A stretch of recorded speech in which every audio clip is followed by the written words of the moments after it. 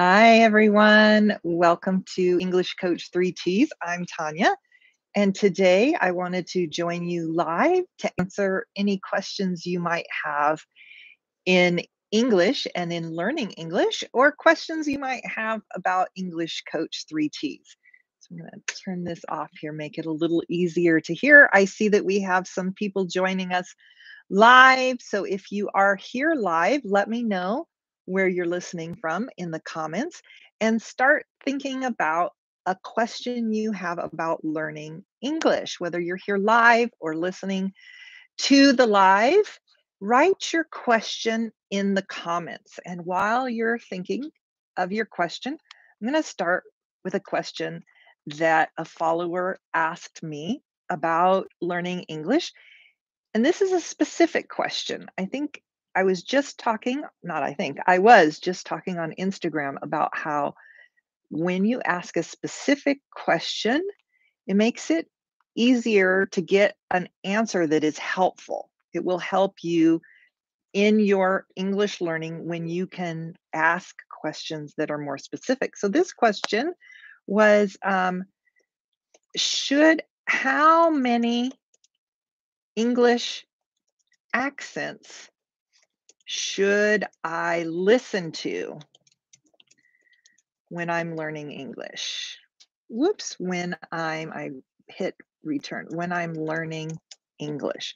Okay, this is a great question. Um, and the answer, the short answer is it depends. Of course, it depends on what your goal is. But generally speaking, it's um, good when you first start, if you're a beginner, it's a good idea to stick with or stay with one mm-hmm. accent so that you can build some vocabulary and some understanding of how to speak and how the language works without getting too confused from different accents.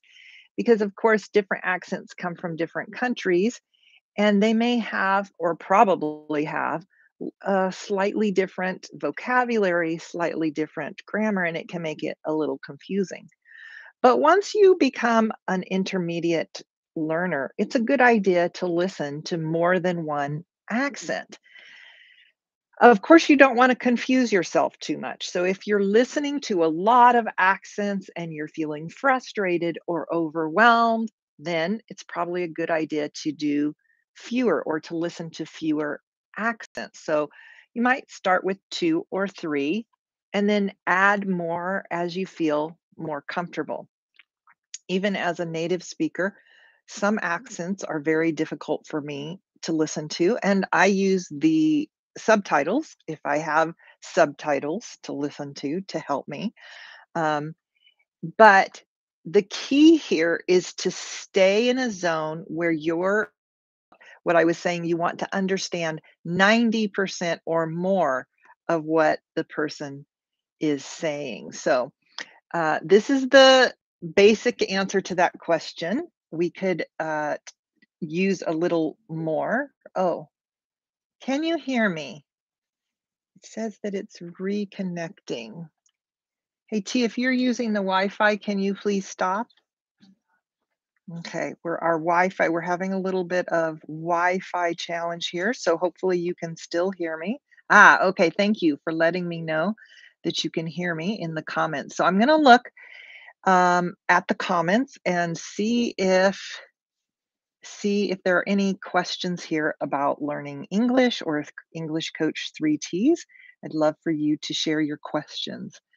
Ah, one person asks, um, how are you today?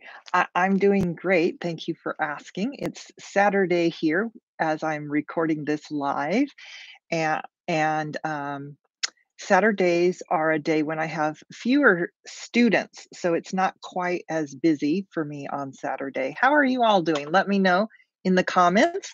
And if you have questions, uh, put them in the comments, whether you're listening live or if you're listening to the recording. If you're here live, I'll do what I can to answer.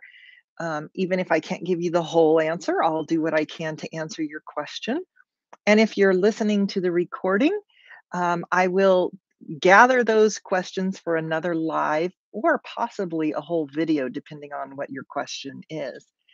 Uh, Nordine, welcome. You're saying it's your first time in the live. Welcome. It's so great to see you here.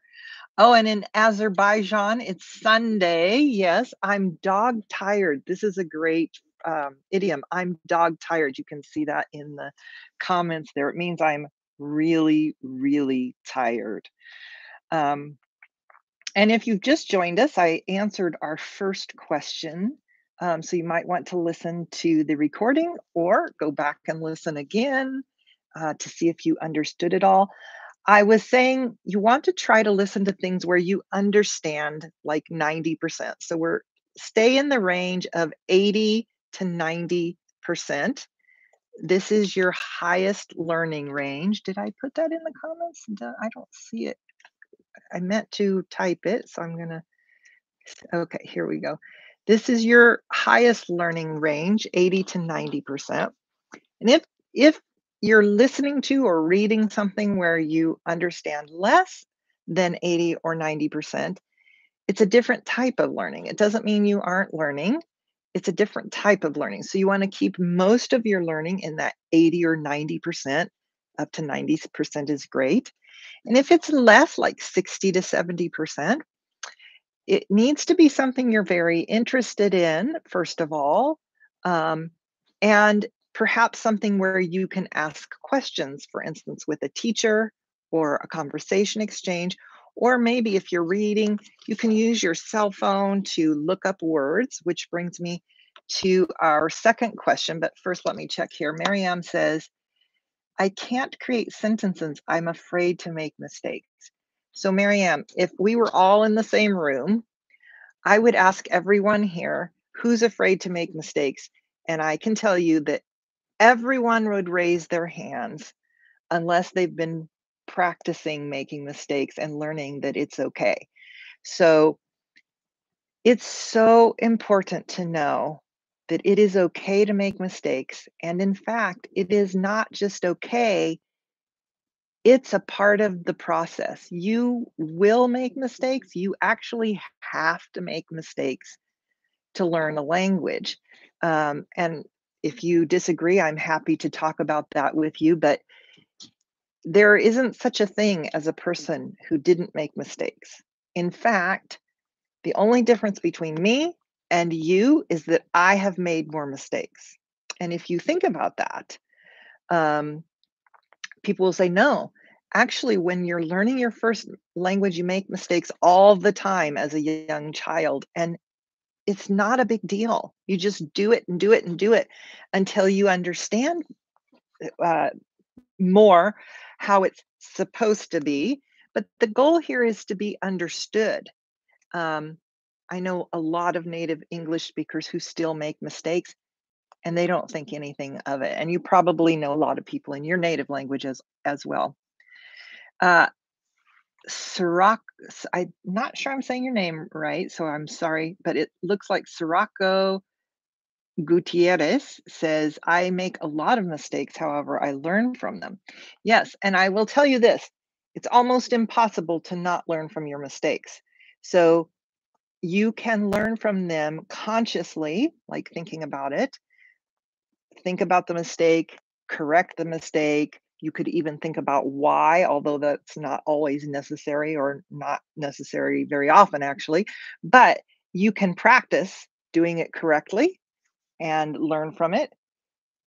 Also, though, when you're speaking and you're making the same mistake, you are learning so many other things from speaking and practicing that that mistake that one mistake or those 20 mistakes are really no big deal compared to the huge amount of things you're learning by practicing. So I always say to my students, go out there and make as many mistakes as you can. Obviously, I don't mean try to make mistakes, but go out there and practice and make mistakes because that's a part of the practice. I think I missed one question, so I'm going to go back up. What is the short way to learn English? I don't have an answer to this, but um, my answer would be the more you practice, the faster you learn. So there isn't really a shortcut. There's not really a short way, but you can uh, get to a point where you can be understood pretty quickly. You'll probably still be making a lot of mistakes, but you can um, interact and speak with a lot of people. Um, I can't tell when my computer says this. It says your connection is unstable. Please wait while we try recon- reconnecting. Hopefully, you can still hear me. If you can still hear me, give me a thumbs up. Ah, there it went away. Can you still hear me? I'm really sorry for the uh, technical issues we're having today. I don't usually have trouble with my internet, but um, hopefully you can still hear me. What I was saying is, I don't hear. One person says, I don't hear. Can you hear me? Ah, Josinaldo. Hi, welcome. So at least a couple people here can hear, so it's not just me. Um, but we were talking about the short way. There's not really a short way, but the fa- the more you practice, the faster you will learn, of course. Um, and there is a limit to that. You can practice all day, every day. And if you exhaust yourself, it's not really helpful. You kind of have to find a balance.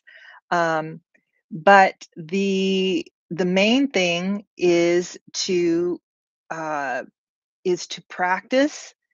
I see one person saying, "Speak with yourself." Yes, this is a key to fluency. You can um, find a list of questions, and hopefully in different topics.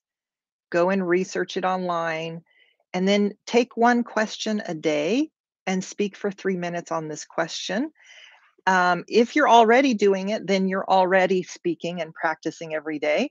But if you start doing this, it will get you to fluency faster. Um, I'm going to take my sweater off because it suddenly became very hot in here. Um, all right, let's see if I missed any questions here. I hope that was helpful. Miriam asks, what books are suitable for beginners to read? So that's a great question, Miriam. The, the book that I have a few books that I recommend, but the books I would recommend to start with are by Olly Richards, I believe his his last name. Olly Richards, I'll put it here. Maybe it's Rogers. I think it's Richards. Could be Rogers. I'll put that with a question mark. You can find him on Amazon and he does English books in levels with vocabulary words. Ah, I actually have one here.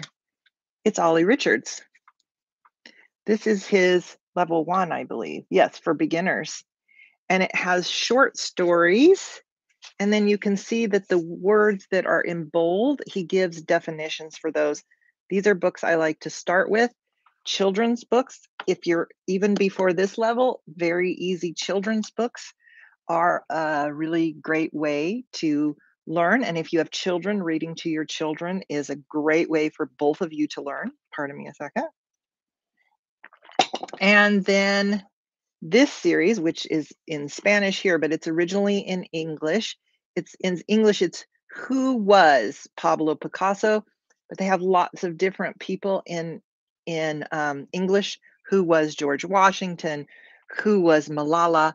So they're people from all over the world and the books are for uh, beginner to intermediate but you can see there's lots of pictures they are not written for english learners they're written for english pardon me english speakers uh, at about a fourth or fifth grade level maybe maybe third grade um, i use these books as you can see in spanish i'm actually past this level now in spanish but i read a lot of these in spanish and you can find them in english even easier than in Spanish. So great question on that. Um, keep reading, read, read, read, read. Read will help. Reading will help you. For the person who asked about the short way, make sure that you're reading every day too. Okay. Thank you, everyone who's joining. Ah, Rami asks a great question. How can I use my vocabulary? Uh, so first, I'll just tell you, vocabulary can only be singular. The word vocabulary, we don't use an S on the end. We don't say vocabularies. If you want to make it plural, you can say, how can I use my vocabulary words? And put the S on the end of words. Uh, but I totally understand you. So, Rami, great job using your English and making a mistake so that you can learn from it. And and Rami, thank you because several other people are going to learn from this mistake as well. So, everyone say thank you to Rami in the chat here because uh, that kind of courage is what helps everyone learn. Um, so, a way to use your vocabulary. Someone already said, speak to yourself. I would recommend recording yourself, practicing your new vocabulary. The most important way to practice your new vocabulary is to make it something you can relate to. I have a video coming out on Tuesday, uh, another story that you can learn from. Have you heard our new English story series here on Inst or pardon me, YouTube? Uh, have you heard or seen the first video came out a couple weeks ago? Uh, English stories you can listen to to improve your fluency. Um, there's another one coming out on Tuesday where I teach you vocabulary, but then I give you some ideas on how to use the vocabulary um, so that you will remember it. And one of the most important things is to think of something that you can relate to with the vocabulary. So let's take a really easy um, example. Did we get a new vocabulary word here today? I'm, I can't remember because of the technical stuff, but let's say we all know the word cat. Um, but when you first read, learn the word cat, the reason you remembered it is probably because you saw a picture and cats are very common. Um, but also you thought about a cat you knew, your own cat, a friend's cat, somebody else's cat, or maybe you don't like cats and that helped you to remember i don't like cats.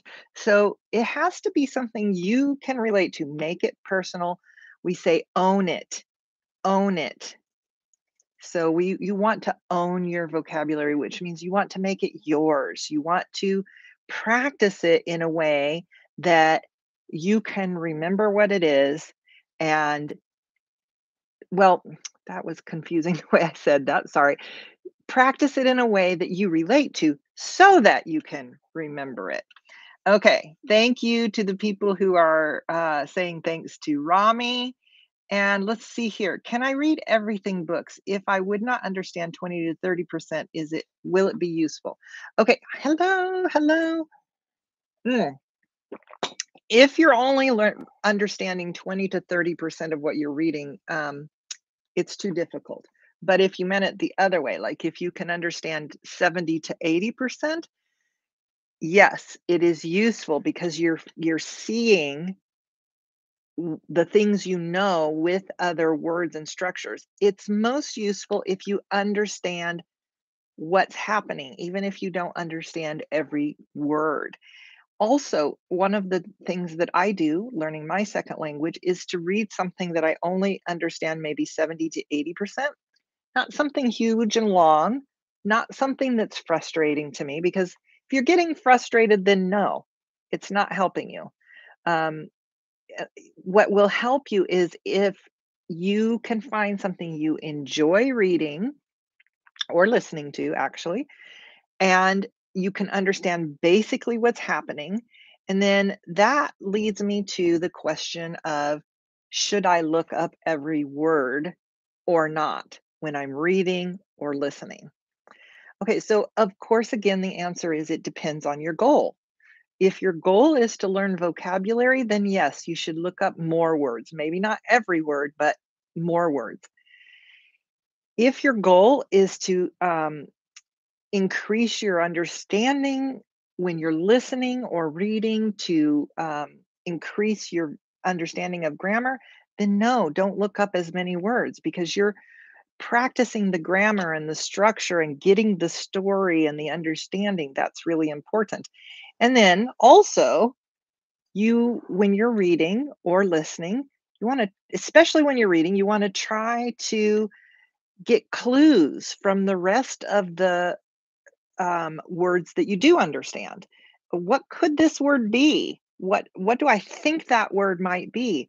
And does this word remind me of another word I posted a great little clip on my Instagram today, actually from Language Snaps. Um, so you could go check that out if you're listening today. Uh, it's on my story um, on Instagram. If you don't follow us on Instagram, our Instagram has the same name, English Coach 3Ts. Um, and when I post this video, I'll put a link to the Instagram down in the description. Uh, so she describes how learning parts of words, like the first part of a word, if it starts with RE like this, redirect as an example. If you know the word redirect, then to redirect is to direct again because the little beginning of the word re means again. Rewind is to wind backwards, but it's like to listen again. You rewind the video so you can hear it again. Rewind. Review. You might review your vocabulary. Huge, huge pointer, by the way. Review. No, it is so important to review and um, not in a way that's boring, but in a way that you enjoy. Just a little aside there, a little extra there. But the word review, view is to look at something. So when we review something, we look at it again, even if we are listening again, because we often use the word to see or to look at something to mean to experience it again, not just to look, but to hear and to experience it again. Okay, so these are a couple tips for learning vocabulary. Let's see if I missed any any uh, questions. Bellica says, "What is your second language?" My first language is English. My second language is Spanish. I'm learning Spanish as a second language. I just started learning German and Korean, uh, but I will say I'm not learning German and Korean like I learned Spanish, um, be, mostly because I don't have the time, but because it's very fun for me. And uh, someday I'd like to make more time to learn Korean and German and, and other languages as well. So I'm curious what your first languages are. If you're listening to me or uh, on the recording, what is your first language? I'm curious. Um, okay, let's see if I missed any questions here. I think I got most of the questions. If I missed your question, go ahead and write it in the comments again. Or if you haven't had the courage to ask a question yet, we still have a few minutes. So write your question in the um, in the comments. Uh, hey, Josinaldo uh, speaks Portuguese as a first language. I've I I actually knew that already because I know Josinaldo um, from class. Uh, okay, you learn with self study. Yes. Okay, I think this question is Do I learn Spanish with self study? I did learn Sp- Spanish with self study for the first couple of years until I got to like a B1, almost B2. And then I did have a teacher occasionally, not very often, I had a conversation exchange from the beginning. If you haven't watched our video about conversation exchange, I'll link it below. Make a note here. Um, conversation exchange. I'll link it below um, because I tell a little bit about using how I used a conversation exchange.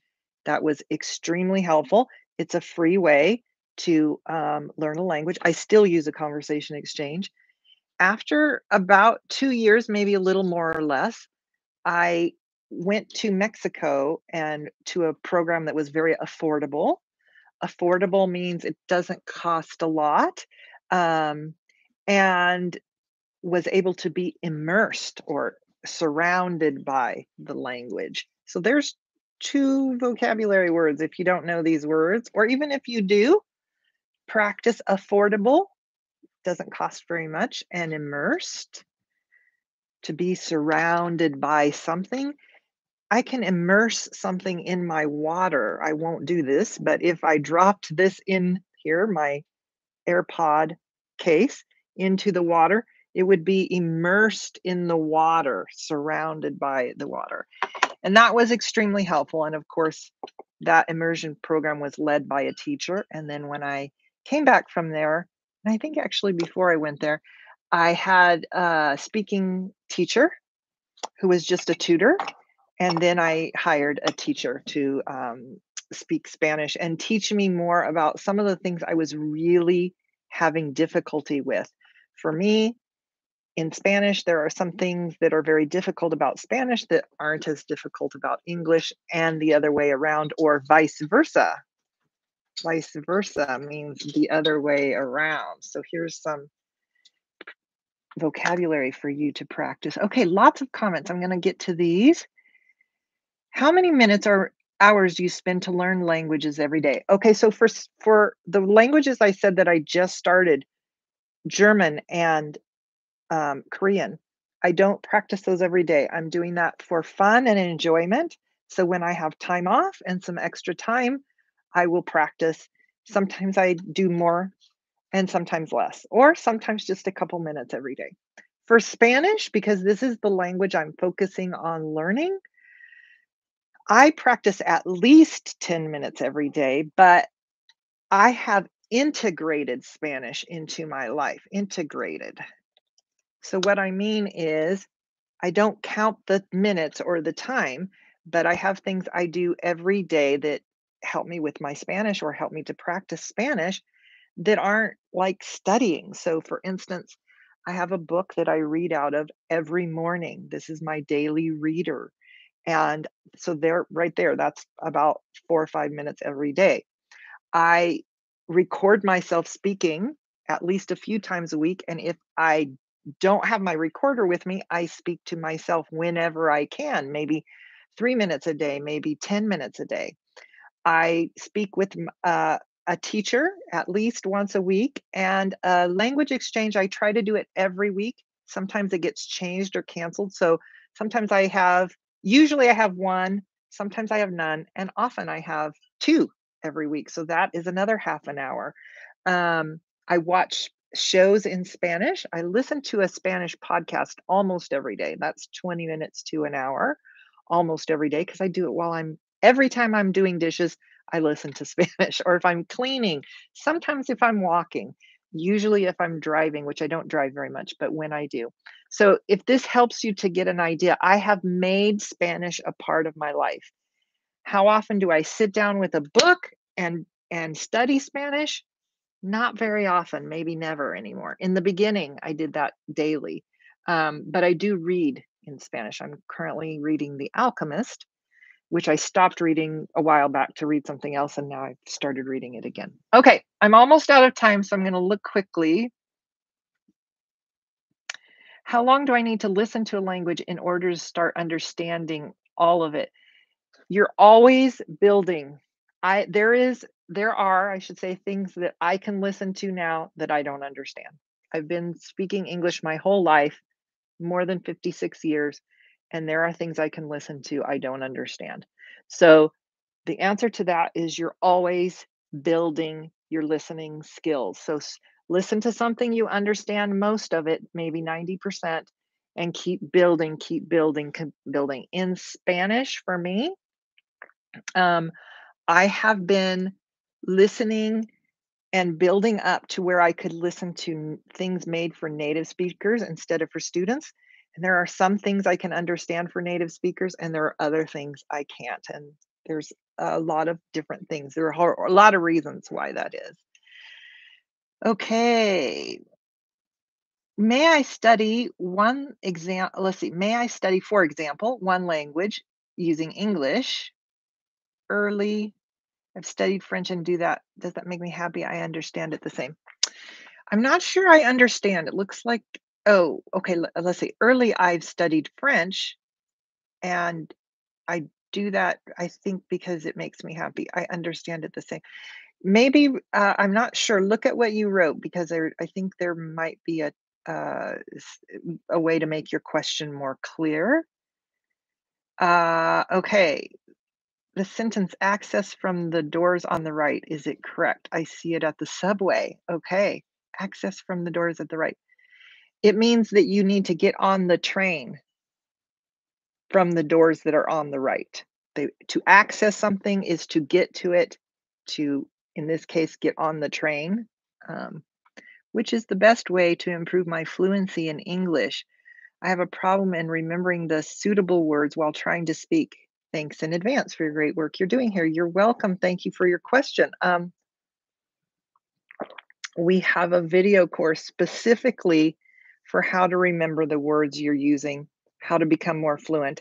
The name of the video course is How to Become More Fluent Using Instagram. You can also use all of the tips that I share with you in that course on YouTube and, of course, on podcast. Um, I make it specific to Instagram uh, because a lot of people think they're using Instagram to get fluent, and it's not typically happening that way. Um, longer videos like this can help. Knowing what to do with those videos, knowing how to use them can really help. So, if you would like uh, to find out more about that, you can go to my website with the same name, EnglishCoach3ts.com. Um, or you can, um, when I put this recorded video on YouTube, I'll put the link to that that course, how to uh, become more fluent. I'm making a note using Instagram. It is a video course that you can use anytime, anywhere. It has seven videos so that you know exactly what to do, and it has things to show you so you can plan what you're going to do. So um, that is, if that's something that is interesting to you, go check that out. Click the link below when this is a recording. Okay, I hope I got to everyone's question. Miriam asked, when will I be live again? Thank you, Miriam. I almost forgot to say, I'm currently going live every Saturday at 1.30 p.m. Los Angeles, California time here on YouTube. Um, th- there are occasionally times when I need to change that, and um, I usually uh, make a little you, an announcement on YouTube. So if you're not following us, be sure to subscribe. If you haven't already liked this video, please like the video. It does really help us to help more people and to help our YouTube channel. Um, and thank you. Thank you, Marianne, for asking that question. I hope that was helpful. I think I got, ah, thank you for the flower. I think I got most of the questions. If I did miss your question, please don't um, hesitate to go put a comment on the recording of this live. Thank you again. I'm looking forward to seeing all of you next Saturday at the same time for the live.